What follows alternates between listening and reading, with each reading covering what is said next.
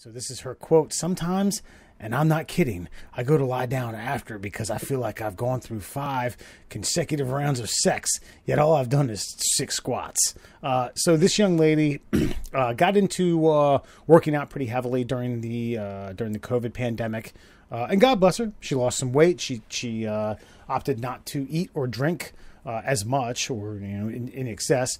Uh, took to the uh, to, to, the exercise scene really hard, but found out as a result when she does a dip, she comes. When she uh, does squats, she comes. She can't go to the gym. She's fearful of it. Uh, it's just a lot of these people, uh, you know, it, it's a it's a very anxiety induced type thing to uh, to exercise around other people.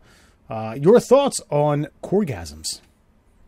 um, amazing. Um, that would why is she not the most in shape person in the universe? Why does she not compete in competitions? Why is she not She Hulk? Why is she getting embarrassed about these orgasms? Why hasn't she started an OnlyFans page? Yeah, I have several questions. Alan?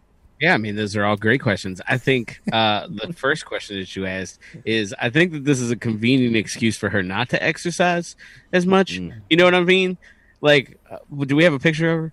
Yeah. God, yeah. I don't want to judge her fucking aesthetic, but I'm going to. Well, it is so, what we do. I mean, be, well, it's also kind of what this article's about. So, uh, yeah, because like, oh, uh, let's hold on, let's find out. Because my, my, I'm postulating here that, uh, and uh, because she's like, oh, I I squat and I come, so I can't work out. See, uh, cheeseburgers.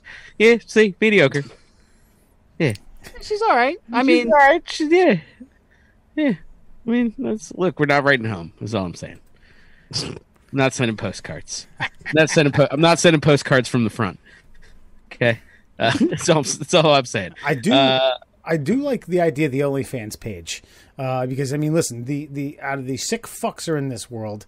Uh, you know, I, I certainly think that there's probably a niche for people who enjoy like you know, there's probably there's probably fitness heads that that like, oh my god, she comes when she when she works out. God, I want to see that. I'd pay to see that. I'd work out while I watch that. yeah, I look. I, th- it, okay, this specific article is specifically a a female problem. Like I I don't know. I mean, okay, if I what was who who was it? Was it uh was it Jackass who they put the uh like the, the dildo in their pants so they could walk around with a boner at the gym? yes. Yeah, yeah. Hey, yeah. can I get a squat? Can I get a spot? yeah, yeah. Oh. See, like we we have a whole different mindset with this thing. Like if guys if guys were able to jizz in their pants every time they did like I, I don't like leg day. I don't like doing squats.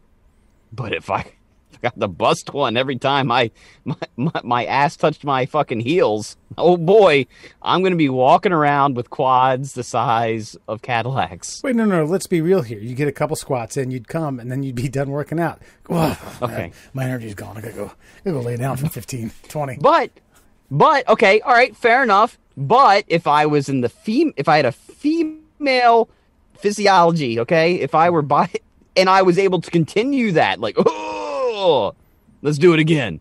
Oh, I would be the most in shape man you ever saw. She is a woman. She has the ability to go multiple times nonstop. God, I just feel like you. I feel like that would be your second job. Is just working out all day. I'm sure it gets a little, you know, you get a little tickle in your tummy and everything. But hey, it's not the worst thing in the world. She's making it out to be the worst thing in the world. And I know if she can just get past that barrier, then it could be the greatest thing in the world. It's a fine line.